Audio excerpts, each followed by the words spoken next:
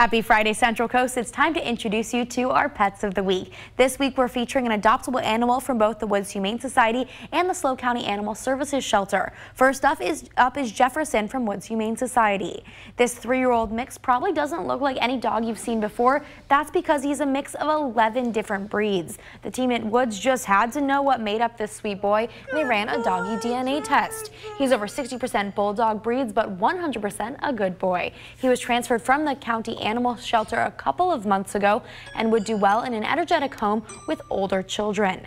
Now turning our attention down the road to the County Animal Services Shelter. This is Bullet, a one-year-old German Shepherd who is who once he gets his wiggles out is a great cuddler.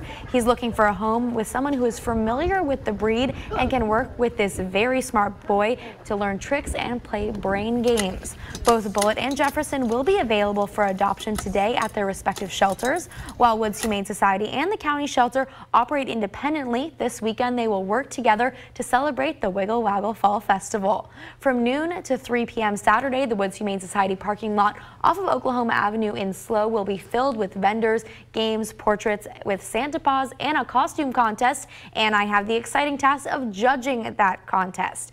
Just a few feet down the road, the county shelter will be open from 11 a.m. to 4 p.m. for $10 on-the-spot microchipping and half off all adoptions. So if you're looking for your new best friend to dress up in those costumes, they also have those half off, half off adoptions. I guess that's the place to be tomorrow. I, I mean, well, there's a ton I mean, I'll be there if anybody's out there. Feel free to say hi. I'm very excited for this costume contest. I judged it last year as well. It's tricky. People are yeah. so creative. It's definitely a fantastic time. Yeah. All right.